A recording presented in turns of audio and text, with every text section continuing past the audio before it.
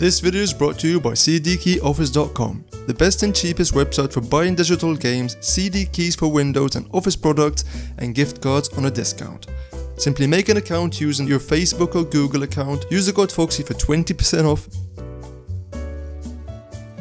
and activate your product and enjoy your purchase. Go to the link on top of the description and start shopping on a discount today.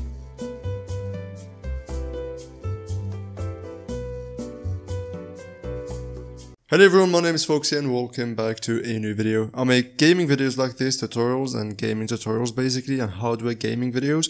And today I'm going to be showing you guys how to actually have your own custom music in GTA 5. So basically you just dump some music in your local PC file. Obviously this only works with PC. And when you add music to a file in your GTA folder, you can basically listen to the music in your single player game and your online game. Keep in mind your friends will not be able to hear it, but you will, and you'll be able to enjoy your game while actually listening to your favorite music while cruising around in the vast, vast world of Los Santos. Okay, so basically, how do you go about actually doing this? Obviously, um, go to Documents, Rockstar Games, GTA 5. There's a file that's called User Music. If you don't have it, create a new folder and call it User space music. After that, go ahead and add at least four songs. Anything less than four songs will not work, it will not show up. Any audio format should actually work, but I use MP3. If you don't know how to get music for free, I will link you to this video right here and it will show you how to do that. Then go ahead and open your Grand Theft Auto game, navigate to your settings menu, go to the audio settings and make sure that self radio says radio